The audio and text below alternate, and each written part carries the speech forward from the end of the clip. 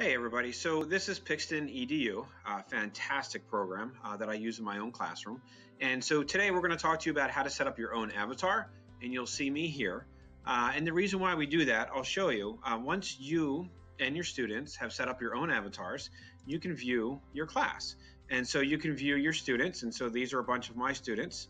Um, and you can kind of see that they had some fun with it, the cowboy hats and things like that, and that's fine. And then also, what's awesome is at the end of at the end of all this is you create your own uh, classroom uh, avatar. Actually, my daughter's in here. my two daughters and my son kind of snuck in here too. So these are different things that you can do with your classroom, um, and it's really great.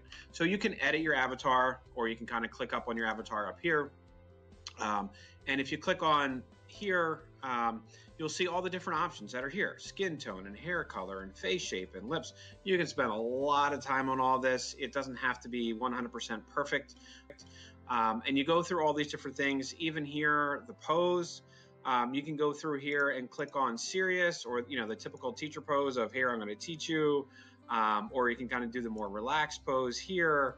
Uh, it's completely up to you. There's lots of different things you can do um, and have a lot of fun with it. And then once you're all done, it really won't take you that long, although some of your students will spend a lot of time on this, and that's okay too. Um, then you just click on this arrow, and then there's me. Uh, this is my avatar, um, and, uh, or you're not from Jamaica, um, or you're not from Texas, or you're not from, if you're not Jewish, uh, you know, there's different things that you can put on yourself. Um, you want to be true to who you are and not put those things, those accessories on your avatar that aren't really who you are. If they are who you are, great, have fun with it. Maybe if you want to dye your hair, sure, that's not going to hurt anybody. But just a piece of advice from a teacher who's done this, and I've talked to my students about it. Um, you just kind of want to preface that coming forward. So when you have that class photo, everybody's everybody's taken care of and everybody's okay.